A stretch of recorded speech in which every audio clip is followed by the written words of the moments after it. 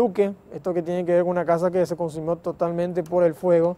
Lamentablemente esta familia que quedó en la calle eh, con lo que tenía puesto. Mm. Prácticamente me decían, son nueve personas que estaban viviendo ahí, entre ellos eh, tres niños que pudieron salir Ay, rápidamente.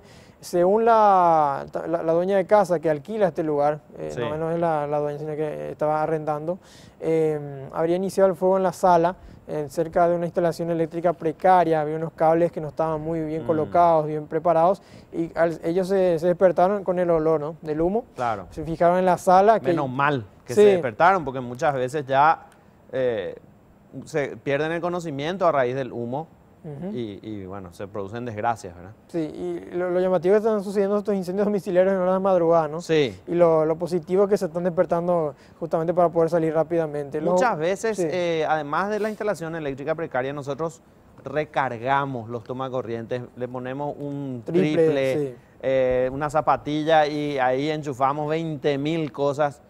Yo lo hago, no sé si la gente quiere hacerlo o no, ¿verdad? Pero cuando, cuando voy a salir de mi casa o cuando voy a dormir, desenchufo todo lo que se pueda desenchufar. Todo, absolutamente todo. Están también los famosos cargadores de celulares, ¿no? Que no hay- Eh, no hay también, que dejar- que se deja sin el sí. celular muchas veces. Y sí. Bueno, estamos hablando que la afectada es eh, María del Carmen Bogado. Ella eh, pudo contar esta historia con su familia.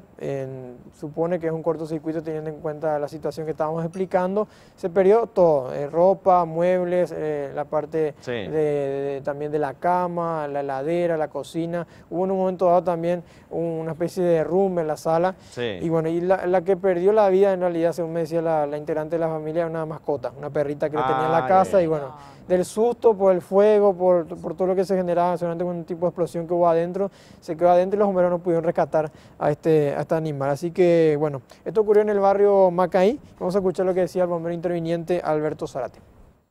Y acá hay todo material que pueda generar, eh, ya sea cama, ropero, muebles, son todos materiales combustibles lo que encontramos. Cocina, garrafa ahí.